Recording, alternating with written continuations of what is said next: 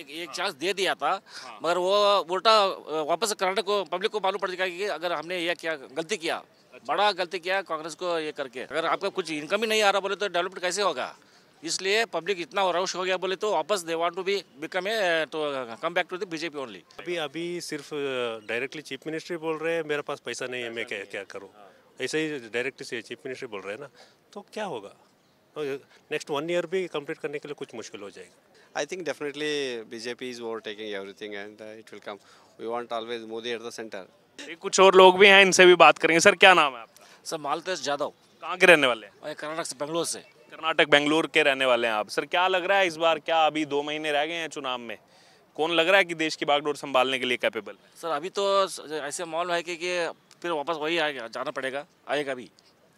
कौन? ये नरेंद्र मोदी बीजेपी मोदी आएँगे फिर से? श्योर डेफिनेटली सर आप कर्नाटक से हैं कांग्रेस तो सोच रही होगी ना कर्नाटक में हमारी सरकार है तो ज़्यादा सीटें लाएँगे। उन्होंने क्या मालूम हो गया वो लोग कुछ क्या बोलते हैं प्री पर देख के कुछ ये हो गया।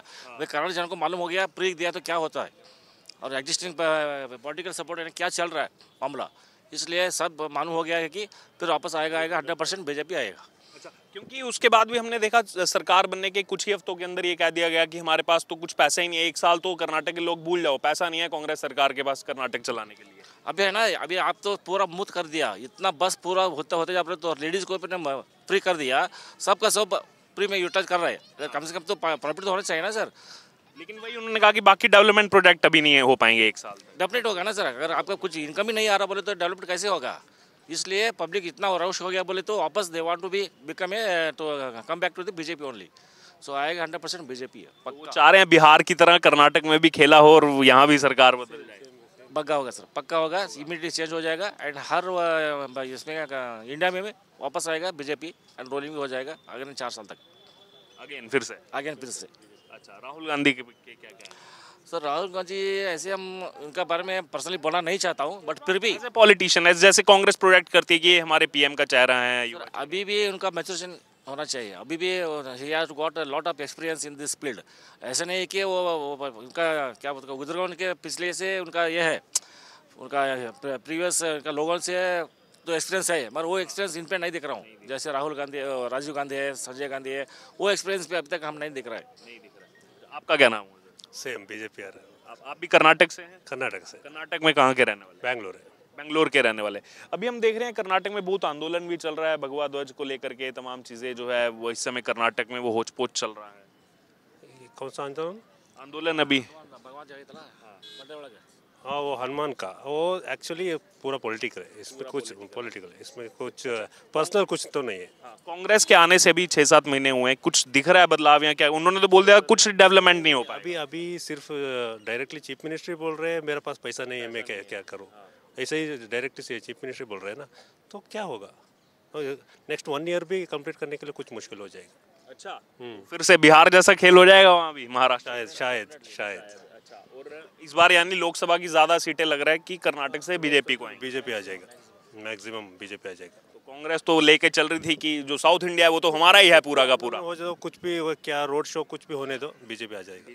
तो जो एक एक, एक चांस दे दिया था मगर वो उल्टा वापस कर्नाटक को पब्लिक को मालूम पड़ जाएगा कि अगर हमने ये क्या गलती किया बड़ा गलती किया कांग्रेस को ये करके। तो यानी कि जो वो ये चला रहे हैं बार बार कि साउथ इंडिया में हम बहुत स्ट्रांग है सब सीटें ले आएँगे साउथ इंडिया से वो और नहीं होगा सर नहीं होगा टोटल नहीं होगा। रिवर्स हो जाएगा सबको मालूम पड़ जाएगा साउथ में से मैक्सिमम सीट आ जाएगा बीजेपी के लिए सपोर्ट के लिए।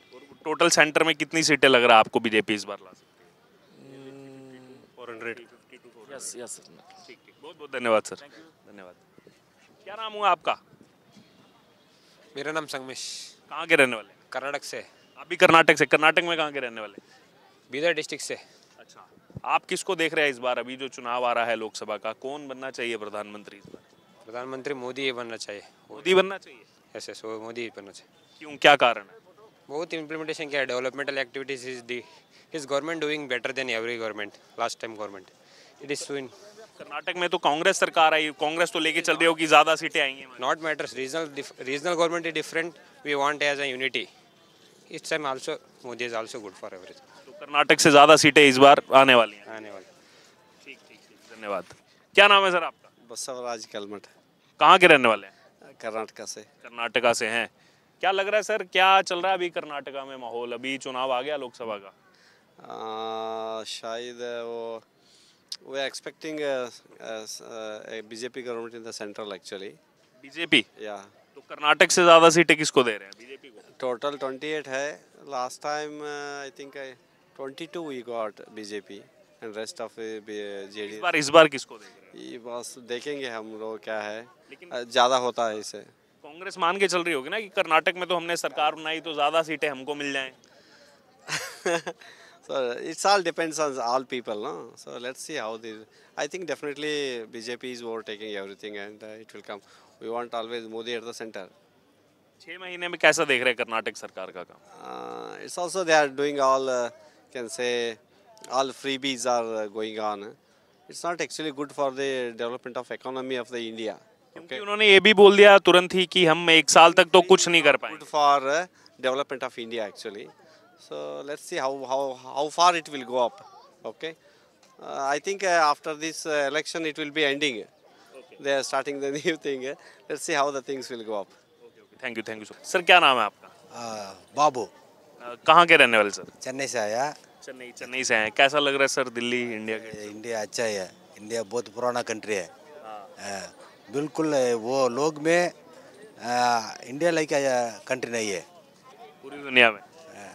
वो पूरे लोग में। इंडिया तो मस्त। अच्छा। सर अभी चुनाव भी आ गया बहुत नज़दीक इलेक्शन सेंटर में। कौन पीएम होना चाहिए? ये अभी हमारा पीएम है ना वो होना चाहिए। मोदी। मोदी मोदी जी। फिर से? फिर से। क्या कारण है? क्यों? Why all over world India is most powerful country that is proved by Modi तो तमिलनाडु से भी समर्थन है बीजेपी अभी अभी थोड़ा थोड़ा ऊपर आया अभी। आएगा आएगा। तो बीजेपी लाएगी वहाँ से सीटें?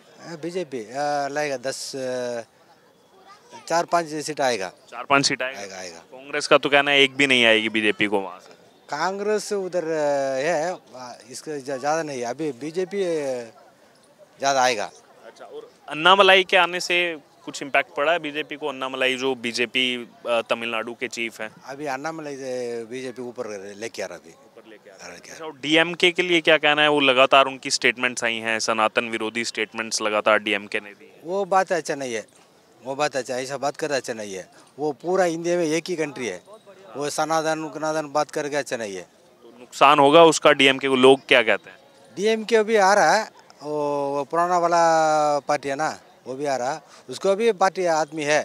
ए आई ए डीएमके ये स्टालिन का मैं पूछ रहा हूँ स्टालिन की पार्टी। इनका कुछ ग्राफ इससे नीचे जाएगा जो सनातन विरोधी स्टेट नीचे नहीं जाएगा उसको भी।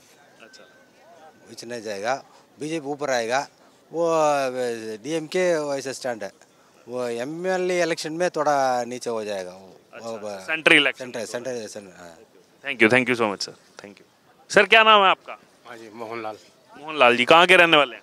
हम गढ़वाल उत्तराखंड के। गढ़वाल के रहने वाले हैं उत्तराखंड के। चुनाव आ गया सर एकदम नज़दीक। क्या लग रहा है अभी? कौन होना चाहिए प्रधानमंत्री इस बार? देखे सर सब।